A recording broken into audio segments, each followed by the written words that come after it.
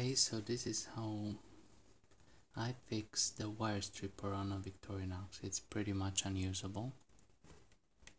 You have to cut the wire before you can use this thing, so it really makes it difficult to use, let's say.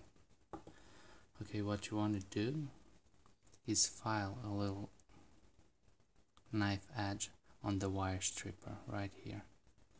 You can do that with a narrow file that just this is a Victorinox just show it. Show this you. Just got wooden handles see? It's a Victorinox okay. So let's get the wire stripper. This is the part we're talking about.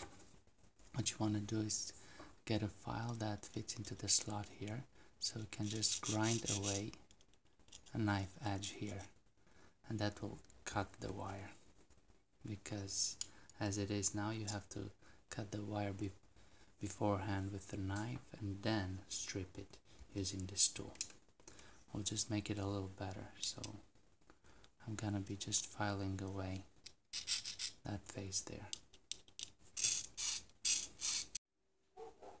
Okay, so after grinding away a knife edge on that little part, you can strip wire using this tool much faster all you gotta do is put it in that slot give it a little bit of pressure twist it a little bit if you want to.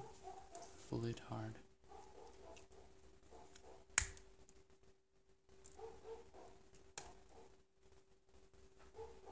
There you go